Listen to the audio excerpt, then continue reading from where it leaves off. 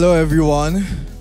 As we settle down, I'm going to invite all of you lovely people seated here, those watching us from the venue, and those watching us on Zoom.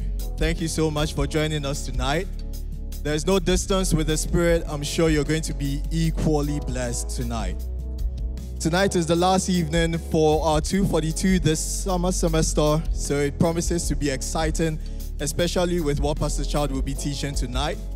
But as always, if you have any questions for Pastor Chad as he teaches, please send them via text to the number that will be displayed on the screen behind him as he teaches. And also, if you like to follow along with the teaching tonight, please go to the Cross Assembly app. In the notes section, you see it both in English and in Spanish feel free to take whichever one you're more comfortable with.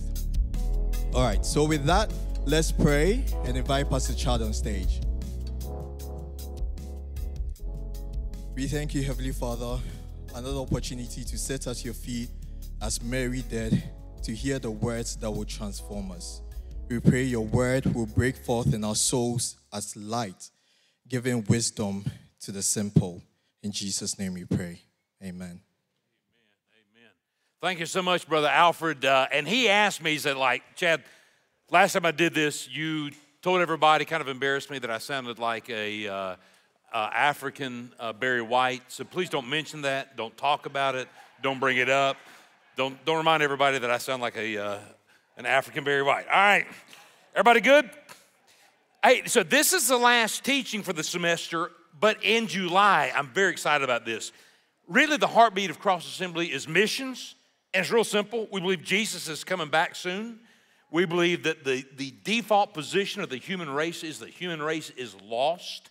And if they die lost, they spend eternity lost apart from God. And so Jesus is the only way to salvation. So we are commissioned by Jesus to go into all the world with the gospel. So here's what we're doing in July. How many of you know when you start coming against demonic forces with the gospel, Satan doesn't take this sitting down. We're not going to just keep sending out missionaries and Satan is not going to counterattack. It is amazing how many attacks our missionaries are going through right now. In fact, I got a text. Uh, let's see, it's just a couple hours ago. Let's See if I can find what time it was. It was a text at 3:52 p.m. One of our missionaries said that a, a Muslim background believer who's been using by God to advance the gospel in the Middle East he has disappeared for three days. The government has taken him. Family doesn't know where he is. Got a wife and five kids. He said, Would you just share that with Cross Assembly and ask them to be praying for this individual?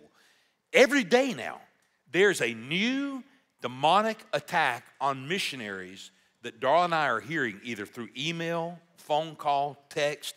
Satan is really hitting hard. Our greatest weapon against Satan is prayer and fasting.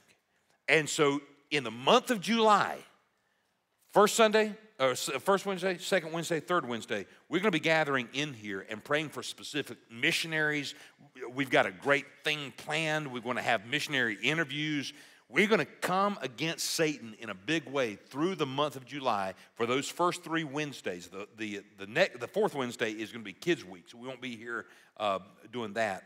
But join me starting next week in just praying for God to begin to move in a mighty way and counterattack what the enemy is doing there overseas. We're going to start that next Wednesday night here. And I know next Wednesday is, what date is that? Is that the third? Third. So I know it's the day before the 4th of July. If you, you know, if you don't come, I'm not going to be mad at you. It doesn't bother me if you're not concerned about lost people going to heaven. I'm joking. But for those of you who can be here next week, let's just gather together and spend some time praying for missionaries, okay? So let's do a quick review. Tongues, speaking in tongues, is used in three ways in the New Testament. Number one, we talked about this last week, the initial evidence of the baptism of the Holy Spirit. We talked about that last week, and we said of the five passages in Acts of people having this encounter called the baptism of the Holy Spirit, three specifically say they spoke in tongues. One implies they spoke in tongues. So that's initial evidence. Number two, in places like 1 Corinthians 14, Paul talks about the spiritual gift of speaking in tongues. We won't hit that this semester. We'll do that in the fall. We'll hit the spiritual gift of speaking in tongues. But that's the second way it's used. The third way tongues is used is, and here's what I want to I want to hit this hard tonight. Tongues as a prayer language or praying in the Spirit, praying in tongues.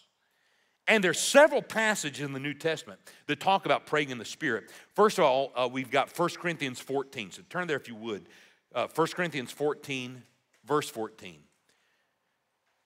Paul, in this passage, talks about two kinds of praying, two kinds of prayers.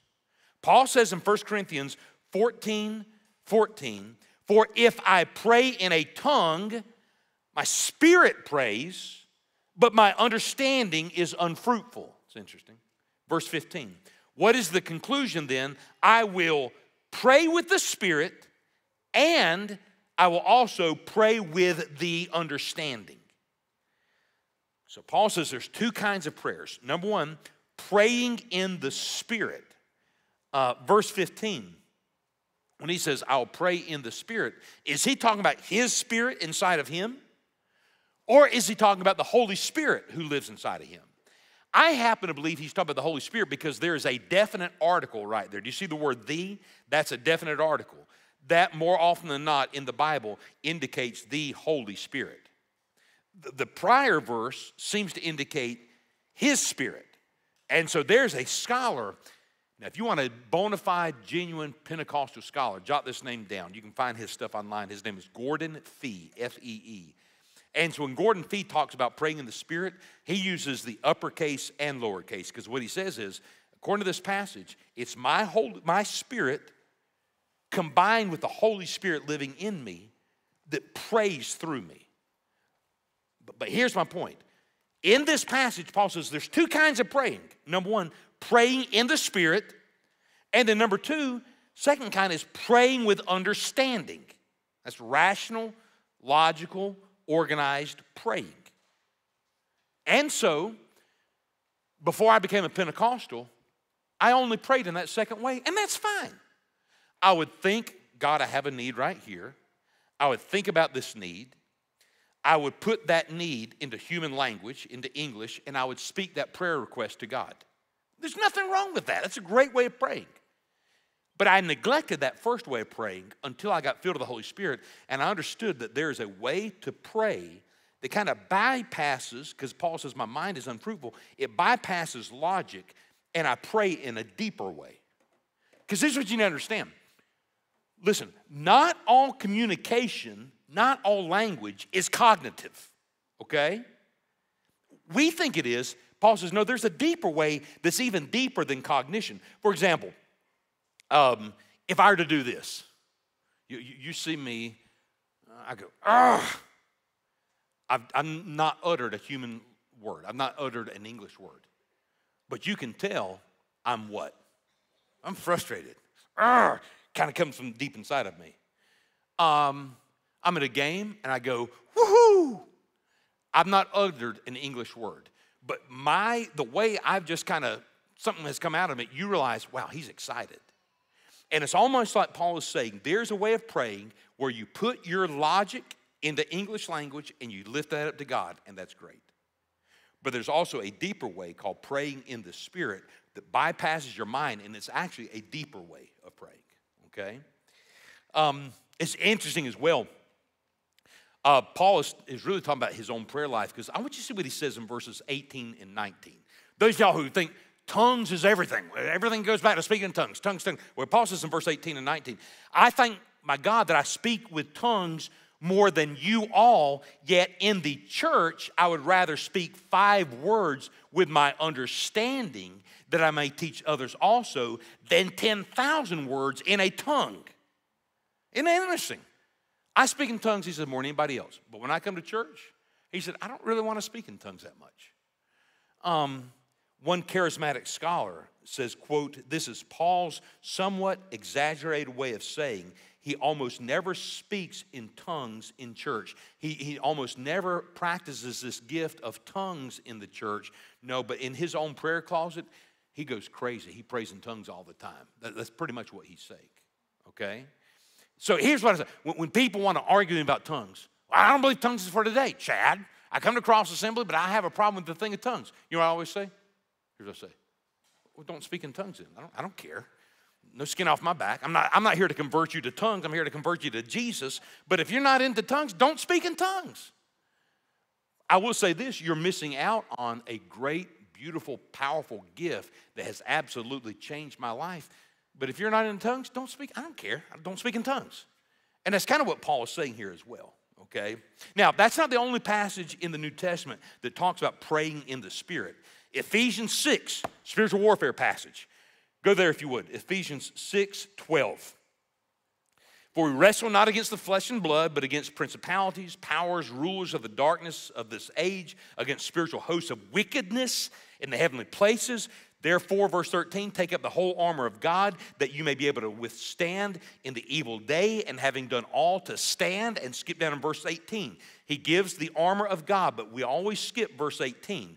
Verse 18 is part of the armor, uh, and it says, praying always with all prayer and supplication in the Spirit. And there's the definite article again, which means he's talking about the Holy Spirit. That's the second place in the New Testament where he talks about praying in tongues or praying in the Spirit. Jude 1. The context is uh, there's a spiritual struggle with wicked people dividing the body of Christ. And Jude says this in verse 20 But you, beloved, building yourselves up on your most holy faith, look at this, praying in the Holy Spirit. It's kind of interesting, isn't it? And so, this thing of praying in the Spirit, it's not an ancillary thing. I've just showed you three passages in the New Testament right there where the Bible talks about praying in the Spirit.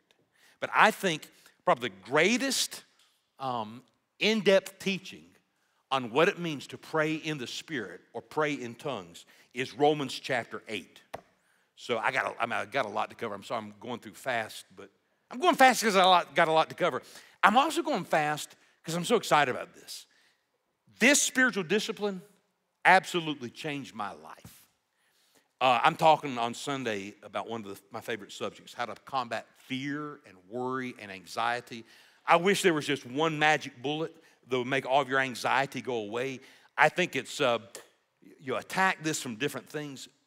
You know, one thing that's helped me with anxiety and worry is praying in the Spirit. When I started just to pray in tongues, um, man, it, it, really broke something when it came to this worry and anxiety. I'll, I'll hit that more in a second. Um, so I'm, I'm, very excited about this. But look at Romans 8.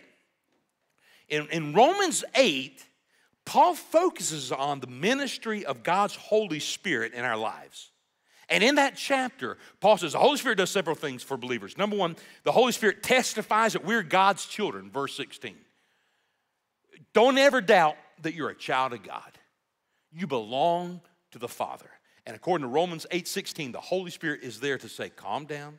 God loves you. You may have messed up, but you're still a child of God. That's one thing the Holy Spirit does. Then he says, number two, the Holy Spirit, He's our down payment. He's our guarantee of greater things to come, verse 23. One day God's gonna raise our bodies up from the dead. We're gonna go to heaven, be with Jesus forever in these glorified bodies. It's gonna be great. And you're like, Jesus, how do you how do I know you're gonna do all that for me in the future? He said, Because I've given you a down payment. That down payment is the Holy Spirit. The Holy Spirit is just a little taste of something greater to come. That's the second thing the Holy Spirit does. And then the third thing, according to this chapter, Romans 8, that the Holy Spirit does is He helps us to pray. So look at verse 26. In the same way, the Spirit also helps us, helps our weaknesses, for we do not know how to pray as we should, but the Spirit Himself intercedes for us with groanings too deep for words. Paul's talking right there. He's getting in depth on praying in the Spirit or praying in tongues. So, understand. What do you mean by praying in the Spirit? What do you mean when you talk about praying in tongues? Let me give you my working definition of this. Here's my definition. It's copyrighted. If you use it without my permission, I'm going to sue you. I'm joking, but here's here it is. My working definition of praying in the Spirit is this: praying in the Spirit is the phenomenon by which the Holy Spirit, residing in the believer, prays to God on behalf of that believer through the voice of that believer with either a heavenly or earthly language. Now, I want to break down that definition. That's my working definition of praying in tongues or praying in the Spirit. So let's break that down. Remember, I said the first part of this is uh, what is praying in tongues? It's the Holy Spirit residing in the believer praying. Look at verse 26. Paul says in verse 26, in the same way, the Spirit also helps in our weaknesses. We don't know how we pray as we should, but the Spirit Himself intercedes. The Spirit Himself prays. So that's important. Paul says when you, as a charismatic or a Pentecostal, come to the prayer closet and you begin to just quietly pray in tongues, here's what Paul, this is what he's saying right here. It's actually the Holy Spirit inside of you that's praying through you. Now, again, um, the, the Spirit and the prophet is subject to the prophet. You don't date, you don't go out into a, a, a, a whatever, you don't pass out, you don't go crazy. But what he's saying is, at that moment, it's a weird thought, isn't it? It's the Holy Spirit who's actually praying through you. That's what he's saying right there. So look, back at my definition. What is praying in the Spirit? Well, it's the Holy Spirit residing in the believer praying. And look at this. He prays to God. Now, I told you, I'm an equal opportunity offender. I offend the Baptists and I offend the Pentecostals. And here's where I offend the Pentecostals, okay? Did you know, whether it be the gift of tongues, the initial evidence of the baptism of the Holy Spirit, or praying in the Spirit, when you're speaking in tongues, you're always praying to God. Because here's how most of the prophecy or the tongues and interpretations in Pentecostal churches do, okay? It's always as if God is speaking to us through that person. In a Pentecostal service, they'll stand up and say, you know, shala da ba da da ma ma ma, and then somebody will interpret it. Oh, yea, now my children, turn neither to the left nor to the right. It's as if God is speaking to us through tongues. That's not biblical. In the Bible, tongues are always directed to God. I was in a Pentecostal worship service a few weeks ago where a message in tongues was given, and again, it was as if God is speaking to the body. That message blessed me. I think God, in His grace, was still kind enough to bless. It was actually, the message was something I was dealing with, so I received that. But strictly speaking, tongues in the Bible is not God speaking down to us. It's always us speaking to God. Let me give you some examples of this. 1 Corinthians 14, 2. For the one who speaks in a tongue doesn't speak to people, speaks to God. It's pretty clear right there, isn't it? 1 Corinthians 14, 14. For if I pray in a tongue, implied when I speak in tongues, I'm speaking to God. 1 Corinthians 14 28. But if there's no interpreter, uh, i.e., somebody to interpret a message in tongues, he is to keep silent in the church and have him speak to himself and to God. Acts 2:11, day of Pentecost. People are speaking in tongues, and they said, We hear them speaking in our own tongues the mighty deeds of God. It was God directed. Does that make sense? Because again, in 99.999999% of Pentecostal services, somebody gives a message in tongues. The interpretation seems to always be it's like God speaking to us. I think God can still bless that, God can still honor that. But if you want to go by the Word of God, tongues is always directed at God, okay? Um, so go back to my definition. What is praying in the Spirit? Praying in the Spirit is um, the phenomenon by which the Holy Spirit, residing in a believer, prays to God is Godward. Look at this. On behalf of that believer. The, the Greek word for intercedes, verse 26, and it's very interesting. It means to intercede, it means to deal with a situation on behalf of somebody else. So this is beautiful. Look, I, I had a situation today about this where, where there was a major situation I had to, I've actually had two situations, major situations I've had to deal with today. I am brain fried. And um, in my English, I kept praying, God, here's how I think this needs to be resolved. God, please move in this direction. And something just didn't seem right. And then in the second situation, I was like, God, and I just think you need to do this, and God, please do that, and please have this person do this.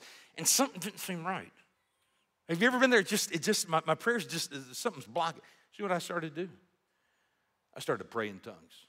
Because when I pray in tongues, I feel it's the Holy Spirit inside of me saying to the Father, Father, ignore everything Chad just said. He doesn't know what he's talking about. He doesn't know the whole situation, so ignore that. God, Father, here's what, what needs to be done in this situation. It, it, does, does that make sense? And so uh, there are times where I think I'm smarter than God. I know how a situation needs to be resolved. This passage says the Holy Spirit starts to pray on your behalf and says, Time out. He doesn't know what he's talking about. Just don't listen to him. Here's, Father, what needs to happen in this situation. Don't you think the Holy, because look, the Spirit of God contains the mind of God. He knows, just like the Father does, what needs to happen in this situation. Does, does, that make sense? So when I pray in tongues, it's now the Holy Spirit praying through my lips on my behalf. Uh, look at this. Um, okay, look the next part of my definition. So let's go back. What's praying in tongues? Praying in the tongues is the phenomenon by which the Holy Spirit, residing in a believer, prays to God on behalf of that believer. Now look at my next part of the definition. Through the voice of that believer. So here's the question Is praying in the Spirit audible? Is it spoken prayer like we Pentecostals or charismatics believe? Or is it silent prayer? Because, and I'm not bashing the Baptists. I love my Southern Baptist brothers and sisters. I love their passion for the Word of God. Um, you've heard me say that. But as a Baptist, I was, I was taught this no, no, praying in the Spirit, it's silent prayer. It means you're just kind of sitting there silently and you're praying in the Spirit. How many, maybe Presbyterian, Methodist, Baptist, were, were taught that here, okay? Praying in the Spirit is silent. Here's why I don't think it's silent prayer. Several reasons. Um, number one, do you know silent prayer was actually rare in the ancient world? Did you know that? It's interesting. If you look at the ancient world, ancient Judaism, ancient Christianity, we see this in Scripture. When people prayed, they did it out loud. When they read their Bible, do you know they did it out loud? They didn't do a lot of silent reading. Let me give you some examples of this. In Joshua 1 8, where God says, Joshua, you will meditate on the word of God day and night. You read that before? Do you know meditate in Hebrew means to mutter or to growl? Literally, it means you will mutter the word of God day and night. That's audible. Y'all remember the story in uh, 1 Samuel 1.13 where Hannah is praying for a child at the tabernacle. Y'all remember this? And she thought she's by herself. And this priest hears her and he thinks she's drunk. Eli's like, this is this lady's drunk. Implied in that is, even though she was by herself, she wasn't there in quiet prayer. She was praying out loud. It's kind of interesting. If you look at the story of, of the tax collector in Luke 18, he's praying out loud. God have mercy on me, a sinner, even though it's just him and God. And then in uh, Acts 8:30, the Ethiopian eunuch, you remember this story?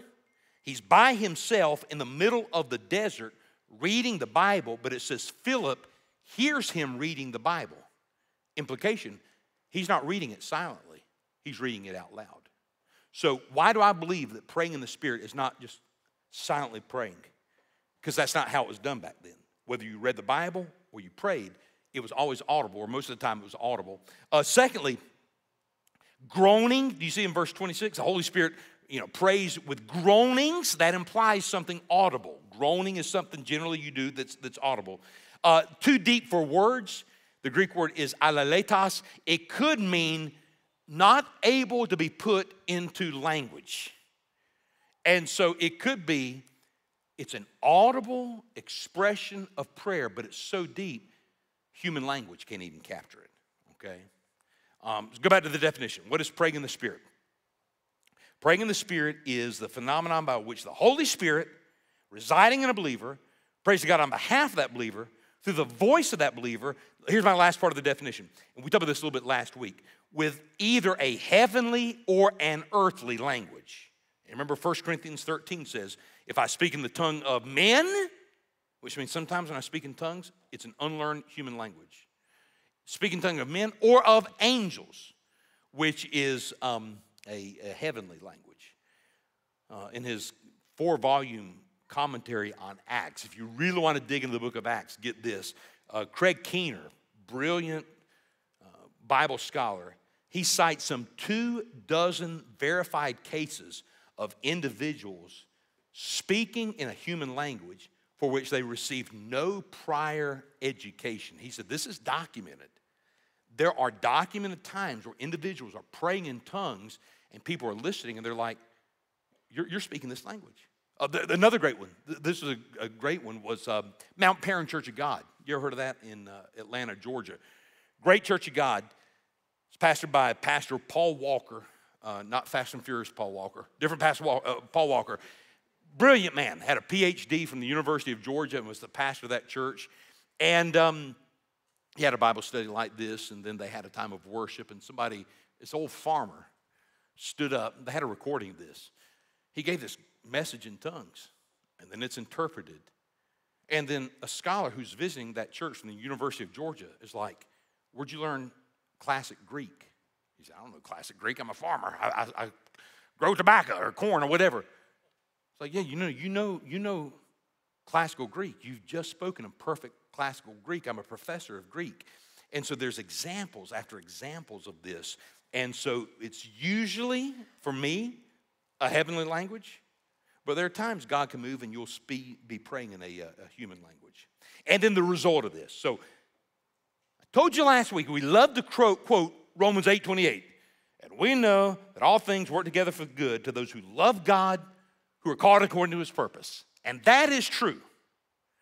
But the context makes this so much more beautiful. After the Apostle Paul has talked about the Holy Spirit reminds you you're a child of God. Holy Spirit reminds you I'm a down payment greater things are to come. The Holy Spirit is there to help you in your prayer language, to pray in a deeper way. Paul says, after all that happens, verse 28, as a result, God's going to cause all things to work together for good to those who love Him, who are called according to His purpose. Isn't, that powerful? When you begin to allow the Holy Spirit to pray through you, through your lips, God begins to move in a mighty way and causes how many things? All things. I've told y'all this before. Uh, my, my granny grew up rural South. I don't think she graduated from high school. But I tell people all the time, I was like, she was an artist. Like, what did she paint? She didn't paint anything. She made these things. You ever heard of this term? It's called cat's head biscuits. I guess they call them biscuits cat head because they're as big as a cat's head or something. She'd make these beautiful biscuits. And um, she would use the nastiest thing to make these biscuits. Lard, anybody, you know what lard is? It's pig fat, right? Salt, eat salt by itself, it doesn't taste good. Flour, you, you ever just tasted flour before, just raw flour? It does not taste good. Buttermilk, any psychopaths in here who actually like buttermilk? Okay, buttermilk is nasty. Some of y'all like it. Buttermilk, she would take four of the nastiest things, mix them together, do something, and they come out these incredible biscuits. And I think about that every time I read that verse. God can take the divorce, He can take the abortion, He can take the moral failing, He can take all the mess in your life, and somehow, by the power of the Holy Spirit, He has the ability to bring all that and bring something good out of that. God either causes all things to work together for good or He doesn't. There's no in between on this thing. And so for me, that's one of the results of being praying in the Spirit and having this beautiful prayer language. It's it, it, allows God to move and cause all things to work together for good. The second one, I, I, meant to get this video, I ran out of time. It was either a 60 minutes documentary or it's a Nightline documentary. I think it was 60 minutes, but it could have been Nightline, but I think it was 60 minutes. They did years ago a little uh, like 30 minute, 20 minute thing on speaking in tongues. I've, I've seen this, but I, I, I'd shared it before. I wish I brought it tonight on speaking in tongues. And there's a lot of naysayers, like, oh, this is just emotion. These Pentecostals are crazy. But they actually had a neuroscientist rig up people's brains and take blood samples and do all this physiological tests. And here's what they found they said these Pentecostals, when they pray in tongues, we've checked their cortisol. Their cortisol, their stress hormone, drops precipitously. And then we've, we've looked at their brain, and the relaxation centers of their brain begin to fire up. Cortisol drops, relaxation increases when these crazy people start to pray in tongues. I think there's a spiritual component, I also think there's a physical component. And like I said, my life took on a totally different level of relaxation when I learned, when I'm in, stressed out, push back the table, get away, go to my room, get on my knees, and just start praying in tongues. And it's amazing how that just calms me down. And so there's, there's power in this thing. So, at any rate, I, I'm not good at time management. I wanted to hit the gift of tongues this semester. We're going to have to wait until, I guess, September to do that. But uh, again, next week, we'll start three weeks of praying for global missions. And again, we'll have missionaries, videos. It's going to be great. We'll take August off, and then September, we're going to jump back into spiritual gifts, and we'll probably start with the spiritual gift of, uh, of speaking in tongues. Let's see if we had any, uh, any questions here tonight. Um, uh, bu- Let's see. So here's another. If one person is in a prayer group and they speak in tongues, should the group know what's being said?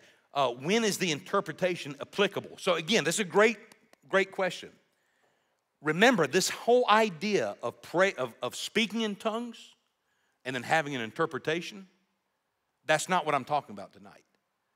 That is the gift of tongues that takes place when you're in a fellowship of believers. There's worship going on. Somebody begins to worship God, maybe a little bit louder than everybody else, and then somebody interprets it. And remember, I said, tongues is directed toward who? Therefore, the interpretation should be Godward. And so, again, that's not what I'm talking about tonight. I'm talking about praying in tongues. But in a situation like that, you're with a group, somebody begins to just praise God in tongues, and the interpretation goes something like this God, you are great. You are a mighty God. You're an awesome God. We lift you up. You're the King of kings and the Lord of lords. We exalt you. Does that make sense? And that's why I told you last week, some of you who weren't there, weren't here last week, about a friend of ours, mine and Darla's, whose wife died of a horrendous neurological thing. She's in the hospital just babbling incoherently in her final days, and a Jewish doctor walks by, and he didn't just say, She's speaking in Hebrew. He said that. He said, She's praying in Hebrew. He understood what was coming out of her mouth was Godward, God directed, okay? But, but this question of the interpretation, okay, if somebody speaks in tongues, there's got to be interpretation. That doesn't go for the initial evidence. We're not talking about the, the gift of praying in tongues. We're talking about the gift of speaking in tongues in a fellowship of believers in a gathering of worship, okay? So that's a good, good question. Um, here's a good one. Uh, why does the prayer language change? My prayer language sounds different now than it did when I was younger. It's a great question. I don't know. I've noticed the same thing that happened with me. Um, the, the way I pray in tongues now is a little different sounding than it was 20 or 25 years ago. And I don't know what you know, what the implications are on that, but I've noticed that with my life as well. It's a, it's a great question. Um, here's a great one for people exploring this time of prayer, this type of prayer. How can they receive it authentically rather than forced? Or are both forms an acceptable offering of prayer to God? That's actually a great question. Here's what I'm against I'm against manipulation. Uh, I've seen this happen before where, where somebody wants the baptism of the Spirit, for example, so bad. And so now we're talking about initial evidence. So let's kind of shift gears to initial evidence. And the guy comes, says, okay, well, you want the baptism? Yeah. Repeat after me. Fa la la, fa la la. Ti ta ta, ti ta ta. Now start just saying that real fast. Fa la la, ti ta ta. You're, praise God, you're speaking in tongues. No, you're not. You're mimicking the parrot, okay? Or you're being a parrot. What I found is in a situation like this, when you have intense worship, so get some good praise and worship music, shut the door, get by yourself, get on your knees before the Lord. And have you ever had these times of worship where you can just feel the presence of God there? And I know some of it's the music, I get it. And all of a sudden, you just you just start babbling like a little baby to, to, to God. And well, how do I know if I'm speaking in tongues? Is this just me? Is this my emotion? Is it the Holy Spirit? Don't worry about it. Just start praising God. And if you want to babble, you babble. And and again, if you say, I'm totally against this, this is crazy, then just don't do it, okay? But I, I just say, get alone with God with some great praise and worship music. Get on your knees before the Lord, raise your hand. And a lot of times this just happens, okay? Um, it's a great question. Um, let's see.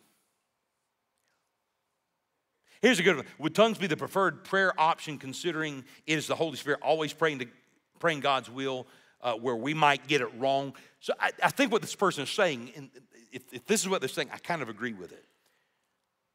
I don't pray in tongues all the time. There are times where I know exactly what I need to pray for. This loved one is lost. They don't know Jesus. I'm going to pray, Father, in the name of Jesus, I ask my brother to get saved. I, I ask him to come to a saving knowledge of the Lord Jesus Christ. Father, send a laborer into his path. How many of y'all got a, loved one that needs to get saved? One of the most effective things you can do is pray. Watch this. Jesus said this pray that the Father will send laborers. Pray this, because you, you might not be the right person to lead them to Jesus. They know you too well. Father, send somebody in their path, a laborer in their path, to come to, to, to share the gospel with them. I know it to pray. And so sometimes I'll just pray in English like that.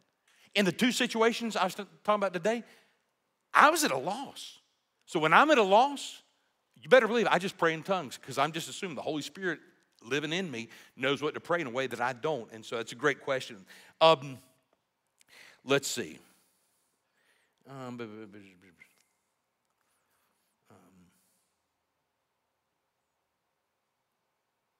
So here's a good one. Since praying in tongues is directed to the Father, uh, if there's an interpretation, is that interpretation about the Father? Actually, Paul says this in 1 Corinthians uh, He who prays in an unknown tongue prays to God. So there's a triunity to God right here. Is Jesus God? Yes. Is the Father God? Yes. So sometimes that interpretation could be directed at Jesus because he's God. Now, the normal, listen, the normal way of praying is to the Father through Jesus. But are there times in the Bible where people pray to Jesus directly? Absolutely. And so the interpretation will be God. Maybe it's God, maybe it's Father, maybe it's, maybe it's Jesus, but um, that, that's, that's what I mean by Godward directed prayer. So it might not always be the interpretation, might not be Father, it might be God, or it might be Jesus. Um, you know, here's another great question as well. Does praying in the Spirit or praying in tongues prohibit Satan from understanding your prayers? So let, let me just say this. I've heard this in Pentecostal circles. I'm, I'm not saying it's wrong, I'm just saying you can't find a Bible verse that says this.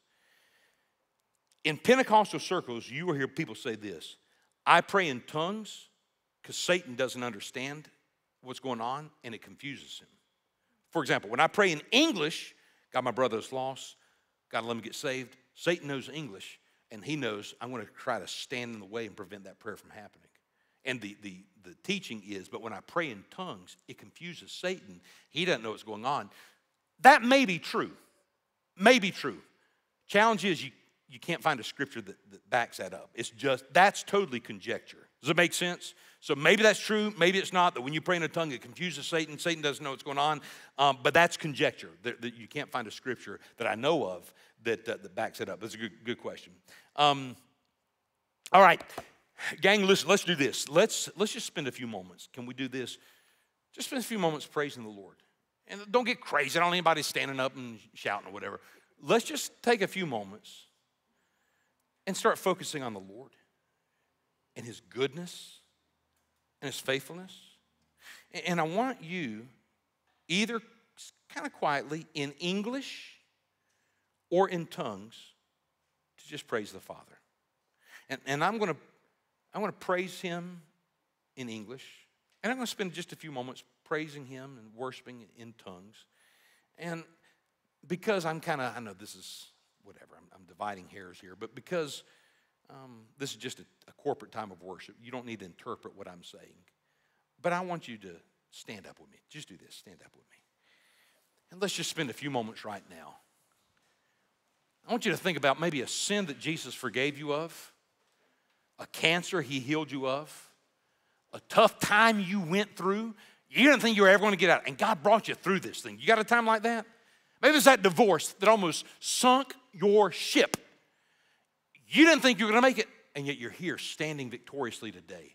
I want you, I want us to spend some time just worshiping God for who He is, thanking God for what He's done, and then I'm going to I want to lead us in prayer. Can we do that right now? Just lift your hands right now. Father, in the name of the Lord Jesus Christ.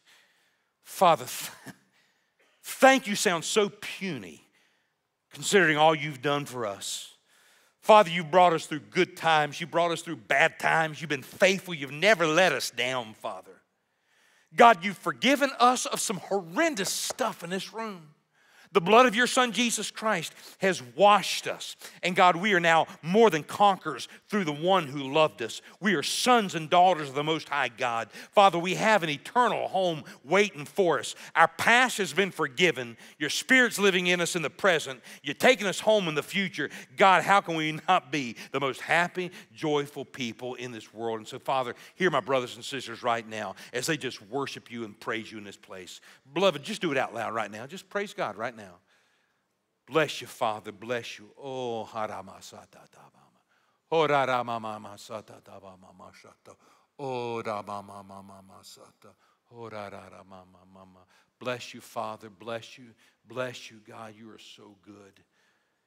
Oh. Oh, mama sata. Bless you. Bless you. Bless you. Bless you. Oh, God, we exalt you. We exalt you. Oh, ramama sata. Bless you. Bless you, living one. Behold, God, you are God, you changeth not. You are the same yesterday, today, and forever. We exalt you, O King of kings. We exalt you, O Lord of lords. We bless your holy name forever. Father, build us up, send us out. May we come against the forces of darkness. May we lead this lost and dying world to Jesus Christ.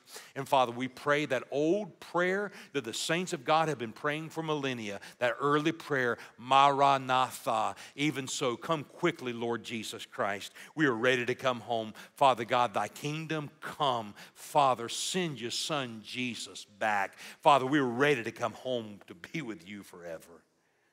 We bless you. We exalt you, Father. In the name of Jesus, we pray. And the saints of God said, Amen and amen. Amen, beloved. Thank you so much. Brother, come on out here. God bless you. We'll see you Sunday. You can be seated. Give us some instructions here, brother. You know, a good teacher is the person that makes you do a practicals right after he's taught. Let's thank God for Pastor Chad.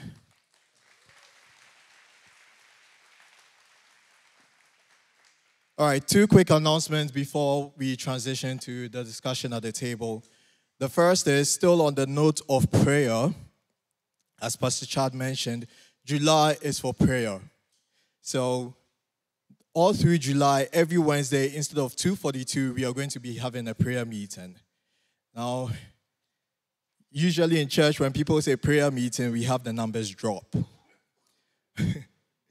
but Jesus didn't say, My house shall be known as a house of worship, as good as that is. Or my house shall be known as a house of wisdom, as good as that is. He said, My house shall be known as a house of prayer. So, this July, you can bet on it. There will be all sorts of reasons why you shouldn't be here on a Wednesday evening. I encourage you to fight through that and join us here Wednesday evenings for July so we all pray as a church if God is going to continue doing amazing things in Cross Assembly, we have to play our part and be a praying church. Amen. All right. But for the prayer meetings, there will be no childcare because we'll have no programs for the children. So it's going to be a family service. So as your children are screaming, you'll be praying louder. Amen. All right. Um, next, I'd like to say a big thank you to every one of us especially your leaders. If, you if your leader is sitting in front of you, take a look at them, stare at them, stare into their eyes, and clap for them.